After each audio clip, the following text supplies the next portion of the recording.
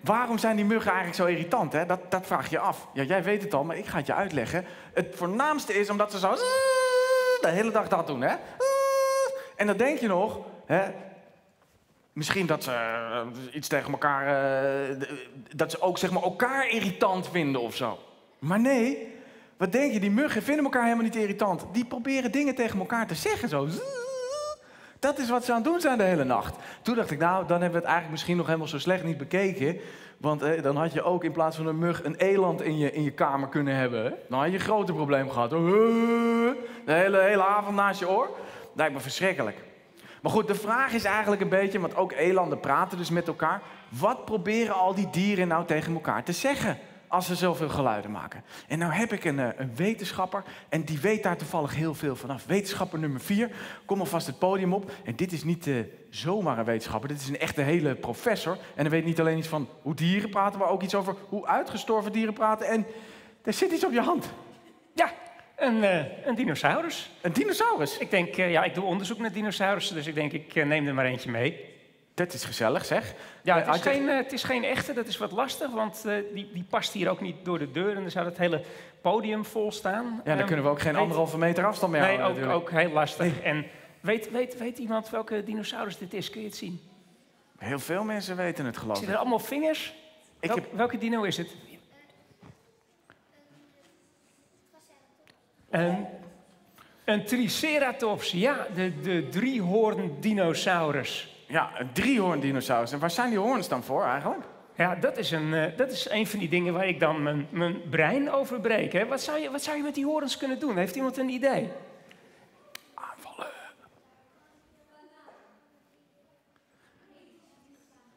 Pijn doen. Nou, we, we hebben daar een mentimeter voor, hè? Ja, ik denk dat ik weet waar die hoorns voor zijn. Die zijn voor om aan te vallen. Maar ik vraag me ook af, waar is die, waar is die kraag eigenlijk voor van dat beest? Want hij heeft ook een soort, uh, soort pak aan, lijkt het. Ja, wat zou je daarmee?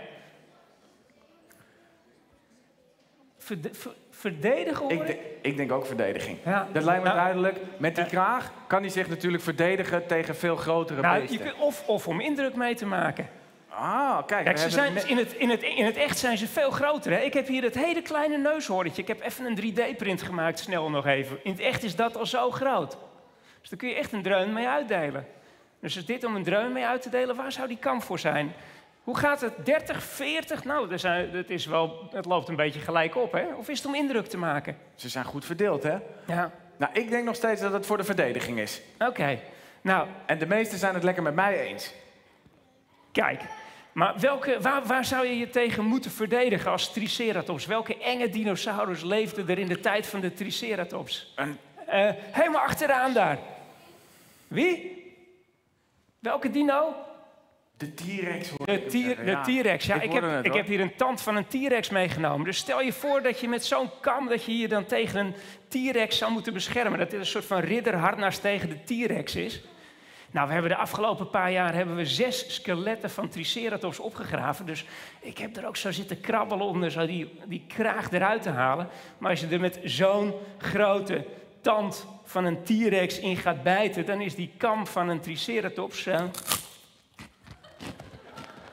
een, uh, een stukje kroephoek of uh, paprika chips. Dus eigenlijk vindt die T-Rex die, vindt die kraag gewoon lekker. Die denkt, hè, snacktijd. Nou, als verdediging is het niet zo heel erg geweldig. Maar er zitten allemaal van die leuke karteltjes op. Dus ze zeggen ook iets van, hé, hey, van... Hè? Ik denk dat het toch echt aandachttrekkerij is. Ja, het is echt een beetje een uh, tri Tricera show-off is het eigenlijk. Ik denk het wel, ja. ja. Daar doen we dus onderzoek naar. Daar proberen we meer over te weten te komen. Maar... Oké, okay. en uh, heb jij nog meer voorbeelden? Wat, wat ik zo bizar vind, hè? jij graaft alleen botten op, zegt hij. Hè, maar hoe kan je nou aan botten zien ja? Wat die dieren met elkaar proberen te, te praten, zeg maar. Wat ze dan zeggen. Want ze hebben toch niet een videoberichtje voor jou achtergelaten bij die botten? Nee. Nou ja, dat is dus het leuke wat je kunt doen als paleontoloog. Als onderzoeker van al die fossielen. Niet alleen de botjes opgraven en, en, en proberen om zo'n beest in elkaar te zetten. Maar ook om een idee te krijgen van ja, wat ze deden, hoe ze zich gedroegen. En een van de hele opvallende andere dinosaurussen die ook aan het einde van het dino-tijdperk leefde, dat is deze hier. Daar hebben we ook een groter plaatje van. Oh. Parasaurolophus. Die heeft zo'n hele grote kam erachter eh, zitten. En nou ja, als er dus iets is waar je eigenlijk nooit een idee van hebt van dieren die... Ze zijn al 66 miljoen jaar uitgestorven, de dinosaurus. Ja, dus je was er niet bij. Je was er niet bij. En toch weten we van deze dinosaurus wat voor geluid ze gemaakt hebben. Oh, dus door naar de botten te kijken. Ja, want als je die botten in een, in een 3D-röntgenscanner stopt, dan kun je met, aan de binnenkant zien dat het gewoon buizen zijn. En die zitten aan, aan, uh, ja, die zitten aan de lucht, uh, aan de ademhaling vast. Dus die kunnen de lucht doorheen blazen. Maar, maar, wat heeft dat dan nog met dat communiceren te maken? Nou, die kun je namaken. Dus dat heb ik gedaan. Ik heb hier met wat uh, PVC-pijp zo'n toeter van een Parasaurolophus uh, gemaakt. Dat zit in zijn hoofd, zeg maar? Die zit zo, uh, die zit in zijn kop. Dus uh, nou, daar kun je dan doorheen blazen. En dan heb je een idee van wat voor geluid de Parasaurolophus heeft gemaakt. Dus als Ik ben heel benieuwd. nou hele, hele leuke gele Parasaurolophussen zijn, dan een beetje contact te houden met... Ja, ik ben een gele Parasaurolophus.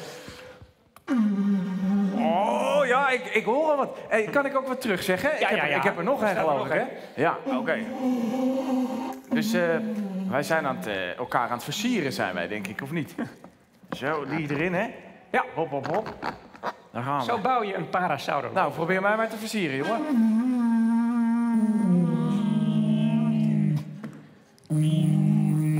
Oh. oh, die doet het veel beter. Ja, toch? ja, maar jij hebt ook een, jij hebt ook een grotere. Ja, dit is wel een heel mooi ding, zeg.